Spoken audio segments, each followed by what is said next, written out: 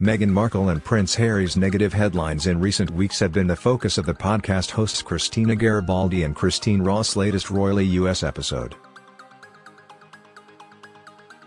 The Royally US pair expressed concern on how the recent press scrutiny of the Sussexes may be distracting for Meghan Markle and Prince Harry as the couple look to launch their charity work. Nasty stories keep coming out of the woodwork, warned host Ms. Ross as the Royal Watcher discussed the couple's latest run of negative headlines. Host Garibaldi told Royally US, I mean it's not a good look for the Sussexes it really isn't. I mean, for one couple to have so much bad press is not good. There's a lot of bad stories out there, so tough for them because you know they are trying to do good work. They're trying to do important things, added Ms. Ross. But these really kind of nasty stories keep coming out of the woodwork and I'm sure it's very distracting from the work that they are trying to get done.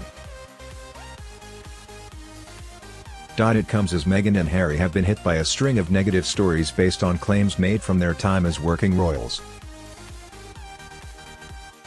This week, a royal author claimed that Meghan had struggled with her dress on the day of her wedding after a military escort she had allegedly been rude to refuse to help her.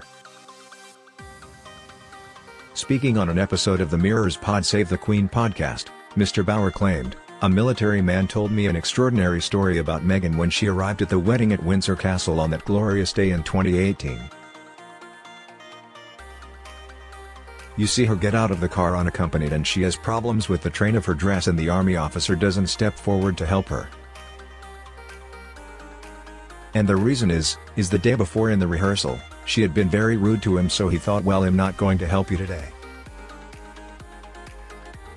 I didn't get the story from him but a fellow officer of his, who explained what had happened. Meanwhile U.S. Supreme Court Justice Samuel Alito took him at Prince Harry over the Duke of Sussex intervention in the Roe v. Wade abortion debate in a speech to the United Nations last month.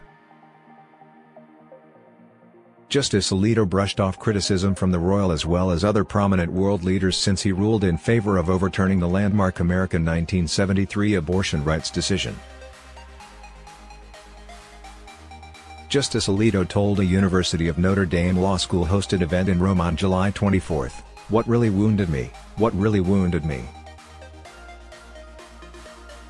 was when the Duke of Sussex addressed the United Nations and seemed to compare the decision, whose name may not be spoken, with the Russian attack on Ukraine.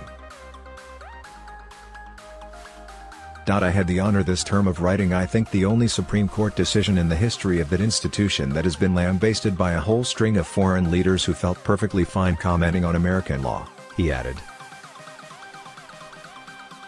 One of these was former Prime Minister Boris Johnson, but he paid the price, Alito joked, referring to Johnson's plans to step down following criticism of his leadership from within Britain's ruling Conservative Party.